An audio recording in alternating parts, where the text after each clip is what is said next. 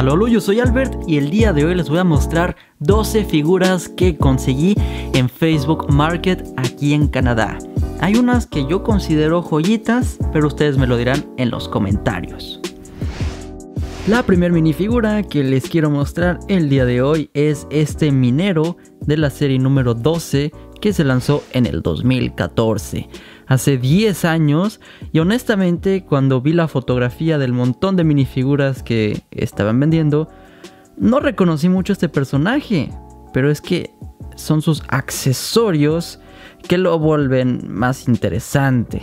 No tengo el sombrero, la barba tampoco está disponible, pero esa creo que es más común y también el pico para minar, ¿no? Eh, me gusta mucho el torso, las piernas, de hecho la cara también. Funciona creo que en un ambiente del viejo este, por eso me decidí llevármela sin saber mucho al respecto. Fue hasta después que investigué y...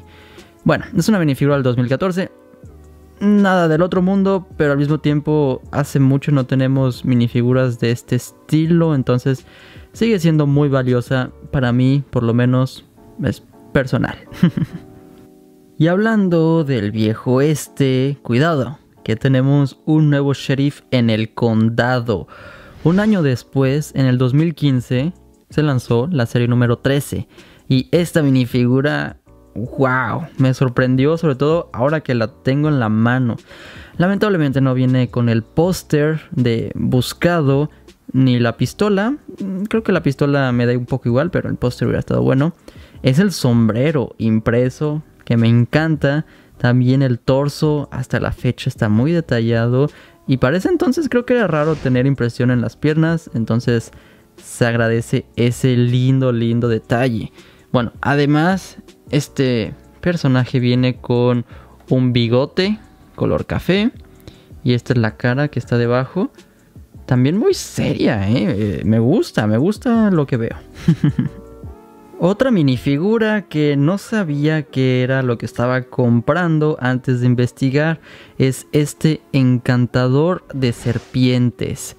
Igual de la serie número 13 en el 2015 se lanzó este personaje muy único. Hasta la fecha nunca he vuelto a ver algo por el estilo. Lamentablemente no tengo la cobra, la serpiente que venía con esta minifigura.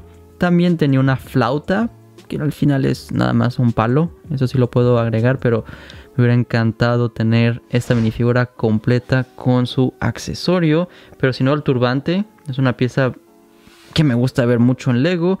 Y el torso pues está muy bien, pero las piernas es lo que me decepcionó un poquito. Tiene impresión en las piernas, pero no sabía de dónde había salido esta minifigura. Cuando la vi en la foto dije, bueno, pues la voy a sumar para la ciudad, para que esté un poquito más diversa. Y estoy satisfecho con el resultado, pero sí quería esa cobra. En el 2015 también se lanzó la serie número 14, también conocida como la serie de monstruos. Y esta minifigura como deseaba tenerla en la colección, se me hace muy especial. Es un científico loco que seguro algo salió mal y su cabeza creció el doble. Es una pieza bastante, bastante original, divertida. Lamentablemente no viene con el frasco de poción con una mosca impresa. De hecho es el color que tiene ahí manchado en su torso. No es el fin del mundo. De hecho, lo que más rescato, como les digo, es esta pieza que viene a ponerse por encima de una cabeza de minifigura. Me gusta mucho la expresión. Pero es que vean, tiene los anteojos ahí moldeados con un cabello por ahí y la frente enorme. Está muy, muy divertida esta pieza. Me encantaría verla de vuelta en algún otro em, contexto. No sé. Poco a poco quiero completar esa serie de monstruos. Se me hace muy, muy especial. Me gusta todo lo que tiene que ver con Halloween. Y este es pie grande. Digo, pie cuadrado, como lo dice Lego está muy divertido, tan siquiera esa referencia, ¿no? Que, las minifiguras tienen pies cuadrados, entonces no es pie grande, es pie cuadrado. Es un monstruito que creo que esa pieza es toda una, una pieza moldeada. Ya la habíamos visto antes o después, no sé, en el orden de las series de minifiguras con el abominable hombre de las nieves. Entonces, está sencilla. La minifigura venía con una cámara fotográfica. Tengo muchas eh, en la colección, entonces no me agüito que no me la hayan vendido así. Pero para que sea una idea, así es como entra esta cabeza con todo el pelo a este torso completamente café. El único detalle pues vienen siendo los pies, que están buenos, solamente que hubiera estado bonito tener más detalle en los brazos, no sé, más pelaje impreso. No es mi favorita, pero ya sé exactamente dónde la voy a poner, en el bosque de mi ciudad de Lego. Y aunque dijera que quiero completar la serie de monstruos, este personaje la verdad no me llamaba tanto la atención. Ahora que la tengo en las manos es otra historia. No viene con el látigo, pero es una pieza que también puedo encontrar por ahí en mi colección. Y Valeria me dijo, sí, consíguela. Estoy muy contento de haber tomado esa decisión porque, vea nada más, tiene impresión en los brazos, en las piernas, en los lados. La cola también tiene impresión y el cabello con las orejitas está fantástico, está muy bien hecha esa pieza y la, la cara de hecho también me gusta bastante. Ahí está. No creo que tenga una cara alternativa, no. Para este entonces se fijan que no les quito los cabellos a las minifiguras porque era raro que vinieran sin cara alternativa. Ya hoy en día, por el precio que pagamos por estas minifiguras, mínimo deberían de tener una cara alternativa. Pero pues ahí está. Tal vez el torso pudo haber sido más blanco por aquí, para el pechito. Pero, pero bueno, pues ya tengo una, una minifigura más de la serie de monstruos. ¿Cómo no? Seguimos en el 2015, pero una temática completamente diferente. Los Simpsons tuvieron un par de sets y un par de series de minifiguras.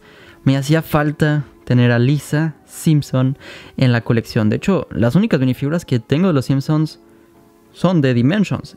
Lisa lamentablemente no tuvo ningún set de Dimensions. Y bueno, poco a poco me voy a hacer de esas minifiguras. Lamentablemente no venía con el gatito de la familia de los Simpsons. Bola de nieve, si no me equivoco. Además Valeria y yo, nada más para agregar un poquito más de contexto, estamos viendo los Simpsons ahora mismo. Entonces, qué ganas dan de, de tener los sets, de tener las minifiguras. Poco a poco, de hecho, no está, no está tan mal. El torso está tal vez un poquito rayado. Bueno, no sé si rayado, pero usado. Esta sí se usó un poquito más que las que les acabo de mostrar. Con todo y todo, la falda, que es como una falda rígida, no está tan mal. Tiene doble, triple plástico en las piernas, de hecho, porque es rosa, amarillo, rosa. No se ve el último porque pues, está la falda, pero ahí como que nos podemos dar una idea. Entonces sí, es una minifigura muy bien hecha. Vean, hasta el moñito lo tiene impreso. ¿Qué calidad tenía Lego en el 2015 para esta serie de Los Simpsons? ¡Wow! Ahora viajemos al 2017. Para ser más específicos, la película de Lego Batman tuvo sets y un par de series de minifiguras. Esta es la primera y es un personaje que me encanta, Red Hood. Pero aquí sí que estoy un poco triste después de haber hecho mi investigación. Porque no solamente le falta la cabeza, le falta el casco, la capa, los guantes morados, las pistolas, las piernas negras. Esta minifigura prácticamente está 80% incompleta. No sé, está muy extraño porque hasta incluso pues le, cambiaron las manitas, no sé. Eh, el torso por lo menos está bueno y la la cabeza, bueno, la cabeza ni siquiera tiene nada que ver, pero pues le pusieron una cabeza roja. Mm, la voy a usar luego para otra cosa. Es esta pieza la que me llama mucho, mucho la atención. Va por encima del cuello. Y luego pues a ver si consigo la, la pieza del casco para...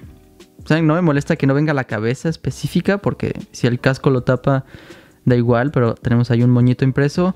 Y acá el torso pues sí está elegante, tal vez por eso es que llegaron a hacer un custom, no sé, con este torso, está muy bonito, moradito, un moñito por ahí, pero, pero bueno, no, no fue la verdad de la decisión más buena que, que haya tomado el día de hoy con esta minifigura que ya ni siquiera se quiere enfocar, lo siento por eso, sí. En el 2018 tuvimos la serie número 18 también conocida como la serie de disfraces. Y este es un disfraz de ladrillo rojo. Yo ya tenía en la colección el disfraz de ladrillo azul, que si no me equivoco viene en esta misma serie. Conseguí apenas un par de minifiguras de esta serie que me gusta mucho, entonces poco a poco quiero completarla y pues ahora que está muy de moda, de hecho, en Construye tu minifigura, la estación de minifiguras en las tiendas de Lego empiezan a sacar estos torsos en diferentes colores. Entonces ya se vuelve una nueva colección de minifiguras que podemos estar integrando por ahí. Necesitaba esta minifigura de ladrillo rojo. Es pues ahí un muchacho sonriendo con un cabello pues bastante bueno, la verdad. Su accesorio no me molesta que no esté incluido. Es un ladrillo, bueno, es una placa. Para, para la minifigura sería un ladrillo, tal vez, no sé. Es una placa azul que hace contraparte a la otra minifigura de ladrillo azul. Vaya, ya hablé mucho al respecto de esto, no es como que sea la mejor minifigura del día de hoy, pero creo que con el tiempo se va a volver, se va a volver muy deseable. ¿Ustedes la tienen? Este es un niño cumpleañero, también de la serie número 18. Es pues un niño, ¿no? Para la ciudad, no sé, detallado porque tiene doble plástico en los brazos, las piernas también están eh, pues muy elegantes, muy detalladas, el torso pues tiene ahí como una corbata, se siente bien este, este personaje para la ciudad, no sé, el cabello, lamentablemente no viene con todos los accesorios como el globo, el regalo y la placa impresa con una serie de minifiguras. Ya me dirán en los comentarios si saben qué serie es. Pero pues ya, ya dije, de una vez me la llevo y algún día conseguiré los accesorios o no. Me gusta mucho así como está este personaje. Lo voy a tomar. Minifiguras de Marvel me llevé dos el día de hoy, empezando por este Ultron.